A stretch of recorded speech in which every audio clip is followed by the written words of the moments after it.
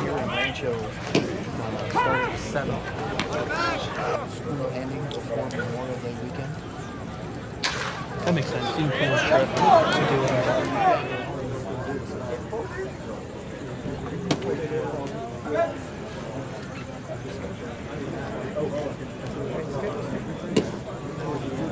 All right.